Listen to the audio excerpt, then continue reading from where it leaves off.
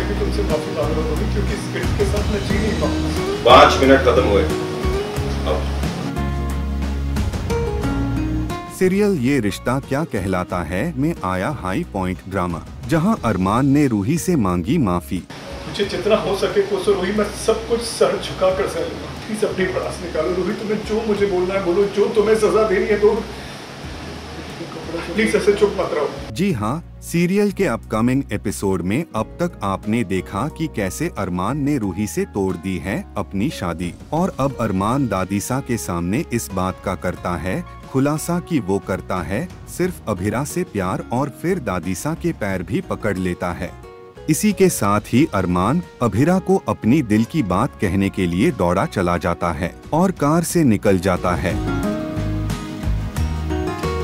वहीं दूसरी तरफ़ रूही कल्पना कर रही है कि सभी घर वाले उसे यह एहसास दिला रहे हैं कि अरमान सिर्फ़ अभिरा से प्यार करता है। यह सब रूही सुनना नहीं चाहती और घर से निकल जाती है, जिसके बाद कहानी में आता है ट्विस्ट जब रूही अरमान की कार से टकरा जाती है।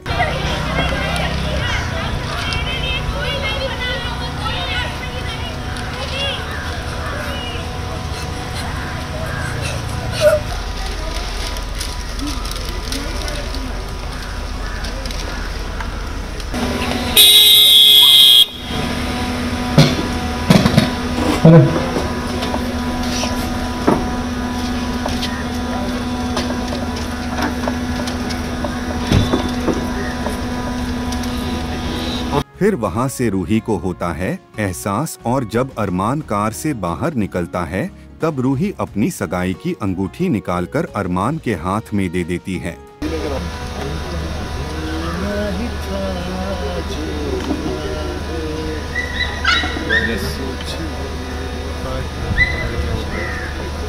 वहीं दूसरी तरफ़ अरमान को अपनी गलती का एहसास होता है और उसे महसूस होता है कि मंडप में रूही के साथ गलत किया, जिस वजह से रूही से माफ़ी मांगने के लिए अरमान गोयन का हाउस चला जाता है। और जब वह पहुँचता है तो गोयन का हाउस के दरवाजे को ज़ोर ज़ोर से खटखटाता है और फिर भी दरवाज़ा नहीं खुलता। लेकिन बाद में जैसे ही दरवाज़ा खुलता है अरमान झटके से मनीष जी के पैरों में गिर जाता है। प्लीज़ दरवाज़ा खोलिए। खोलिए सर।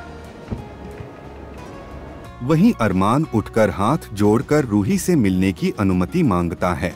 पहले तो स्वर्णा मना करती हैं कि हम तुम्हें रूही से नहीं मिलने देंगे लेकिन मनीष जी अरमान को सिर्फ़ पाँच मिनट का समय देते हैं रूही से मिलने के लिए जिसके बाद अरमान भागकर अंदर जाता है। अरमान जो ससुर के कदमों में गिरे हैं एक्चुअली उसने कांडी कुछ ऐसा किया है कि हमारी बेटी को मंडप में ऐसे ही छोड़ दिया है तो obviously as parents we are very angry क्योंकि uh, रूही बहुत ही ज़्यादा इन्वॉल्व थी अरमान के साथ और उसे बहुत ज़्यादा उसके साथ होप्स थे तो uh, उससे उसने जो किया है उसका ट्रीटमेंट उसको अभी मिल रहा है।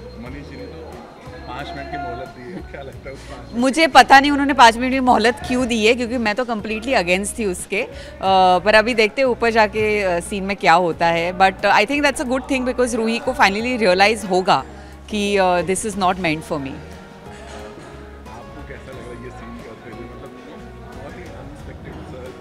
actually you know as a character Swarna के लिए मुझे बड़ा मज़ा आ रहा है बिकॉज़ हमेशा मैं बहुत पॉजिटिव रहती हूँ लाइक मनीष हमेशा गुस्सा करते हैं मनीष मेजर डिसीजंस लेते हैं as the head of the family तो मुझे जब ऐसे सीन्स आते हैं जो मुझे चिल्लाना होता है गुस्सा करना होता है तो बड़ा मज़ा आता है something different you know it gives like a different flavour to your character जहाँ अरमान रूही से मिलने जाता है, वह देखता है कि रूही ज़िंदा लाश की तरह बैठी हुई है।